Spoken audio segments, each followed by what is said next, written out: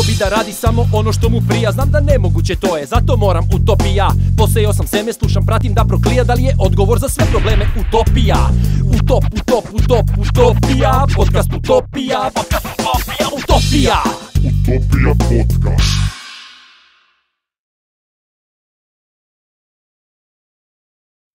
O čemu razmišljaš?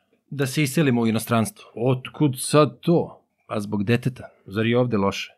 Zar je ovde dobro? Jesi li stavio na papir s razloge zašto je tamo bolje? Upravo to radim Prvo, ti bežiš odavde, je li tako? Ne bežim, više se sklanjam Bežiš ili sklanjaš se.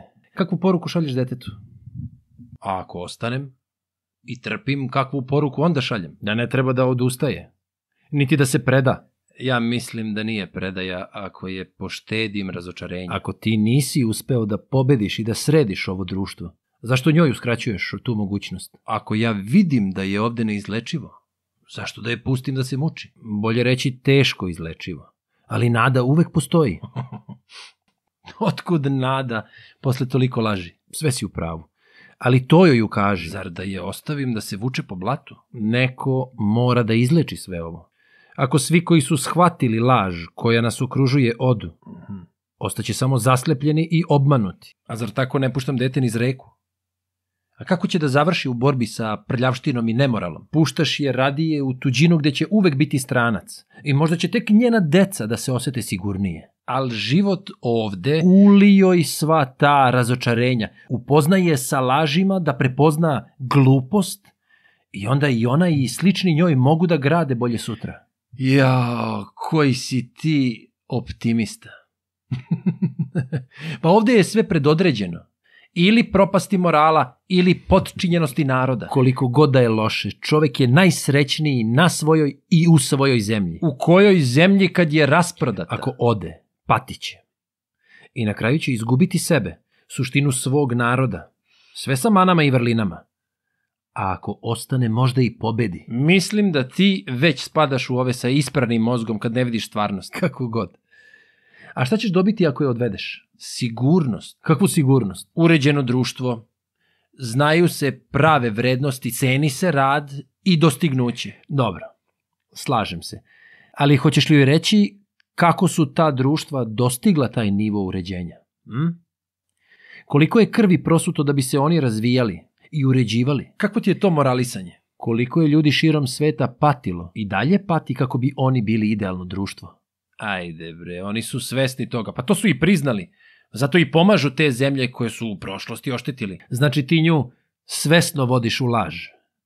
I spreman si da je učiš kako je sve to ispravno i moralno. Iako je to imalo cenu. Slušam. Zašto si spreman da zažmuriš na sve nepravde koje i dalje čine? Ili koliko su još juče činili i tebi, i narodima i zemljama koje su za njih samo materijal za postizanje svojih ciljeva. Pa tako čitav svet funkcioniše. Čekaj, ti želiš da odvedeš porodicu tamo gde bi prešao na stranu koja u belim rukavicama i naparfemisana kaže činili smo loše u prošlosti, ali sad smo urođen, uređeno društvo i nećemo više. Karikiraš. Da li?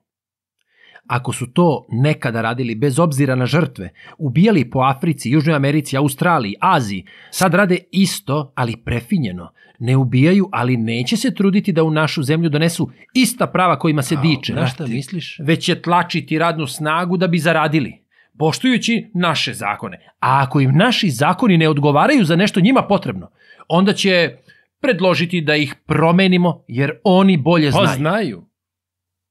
Zato su i uređeno društvo, 20 godina ispred nas. Šta 20? 50 godina. I manje ti smeta da budeš deo društva koji, koji je svoje temelje gradilo na nesreći drugih, nego da naučiš dete šta je ovde loše i da je ohrabriš da se bori za sebe i za svoja pokolenja. Ao, brate, gde si ti otišao? Slušaj, imam 45 godina i kogod ovde vlada samo sebi dobro čini. Ja ne vidim da se to može popraviti. Zato što su pametni otišli, a državu vode ovi koji se prilagode situaciji i situaciju prilagode sebi. I ti misliš da ja treba da ostavim dete ovde, da je takvi gaze? Ne bre, nego da je ostaviš, da ne dozvoli da takvi dođu na vlast, da ona pravi i čini bolje sutra. pa ko sad zvuči kao ludak? Uči je da voli svoju zemlju, da poštuje druge i da se vrati, da ne odustane, da se ne preda. Kako si ti naivan, možda. Ali se nadam. I zato mislim da ne treba da se ide odavde. Ne zvučiš mi ubedljivo. Pa i ta sigurnost koju pominješ, upitna je. Uvek se misli da je drugde bolje. Realno, jeste. Da li je? Imaće veću platu. Imaće veću platu. Ali i veće troškove. Biće non stop pod kreditom. Ali će znati zašto radi. Verovatno je najveći deo toga istina. Ali zašto da se ne bori da sve to ima u svojoj zemlji? I tamo neće moći da ju se desi da ju na ulici razbiju glavu. Osjećaće sigurnost i poštovanje. Razmisli još jednom. Ne znam, nisi mi pomogao. Ajde, vidimo se sledeći put. Ako ne odeš.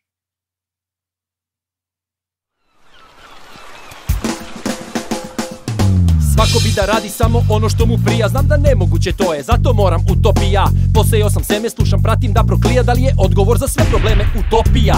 Utop, utop, utop, utopija. Podcast utopija. Podcast utopija, utopija. Utopija podcast.